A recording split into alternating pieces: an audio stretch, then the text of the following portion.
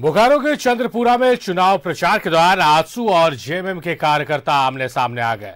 राने में आँसू प्रत्याशी यशोदा देवी के लिए सुदेश महतो प्रचार कर रहे थे। इसी दौरान जेएमएम कार्यकर्ता सामने से गुजरे ऐसे में दोनों ओर से नारेबाजी होने लगी। घटना की सूचना पर कांग्रेस विधायक अनूप सिंह मौके पर पहुँचे और उन्होंने भी नारेबाजी की। बाद में प्रशासन ने आँसू के काफिले को सुरक्षित निकाला।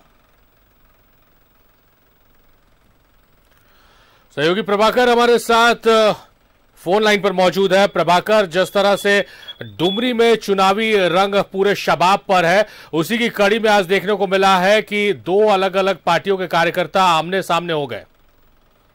जी हाँ निश्चित तौर पर आज जो है तयशुदा कार्यक्रम के तहत सुदेश महतो आशु नवा पहुँचे थे।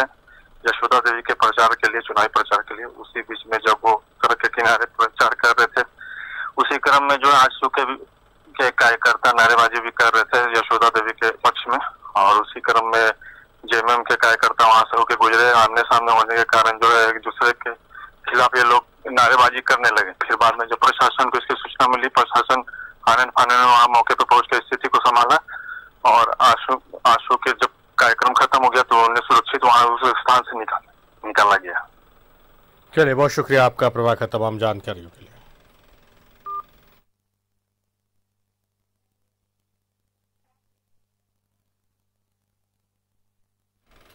तो डुमरी से ये तस्वीरें आप देख रहे हैं, जहाँ पर आजसू कार्यकर्ता और जेएमएम कार्यकर्ता आमने सामने हो गए। जेएमएम कार्यकर्ताओं को और बल तब मिल गया जब विधायक अनूप सिंह भी वहाँ पर पहुँच गया और जमकर दोनों ओर से नारेबाजी हुई। प्रशासन को इसकी सूचना मिली, प्रशासन ने तत्परता दिखाई, मौके पर पहुँची और आजसू कार्यकर्ताओं को उस भीड़ से निकाला। है तो ये चुनावी रंग है। चुनाव में कहा जाता है कि हर कुछ जायज़ है। Look at now.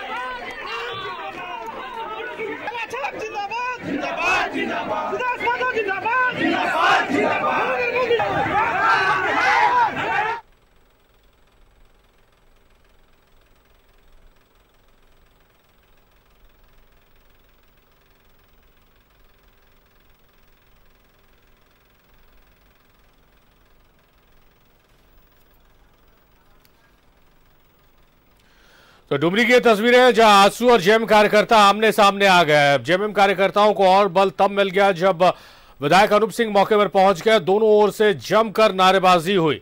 प्रशासन को इसकी सूचना मिली और उसके बाद फिर दोनों ही दल के कार्यकर्ताओं को अलग अलग हटाया गया।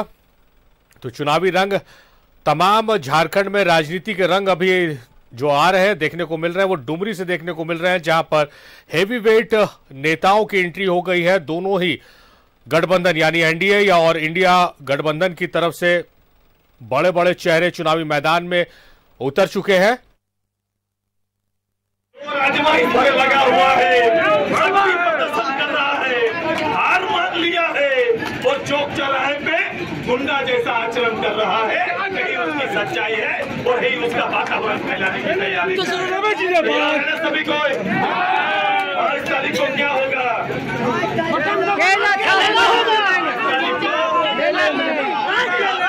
बीस साल के कुशासन के खिलाफ में वोट पड़ेगा ना। यशोदा जी सेवा करेंगी ना डुमरी का सेवा बाद यशोदा माँ के हाथ में जाएगा। आप ये तैयारी करिए। यशोदा माँ यहाँ की सेवा करने का काम करेगी। ये तैयारी उनके ऊपर एफआईआर भी होगा। उन्होंने समय के अनुकूल अपना सभा किया है। और जो समय मिला था उसमें नहीं किया है।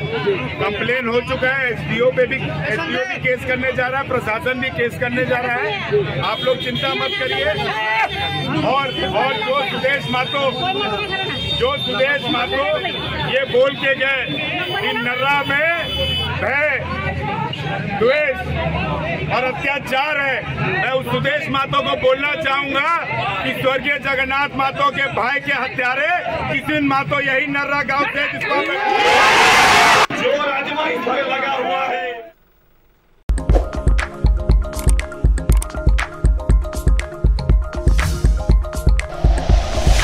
like and share videos, subscribe करें हमारा चैनल और प्रेस करें बेल आइकॉन न्यूज़ 11 भारत सच है तो दिखेगा।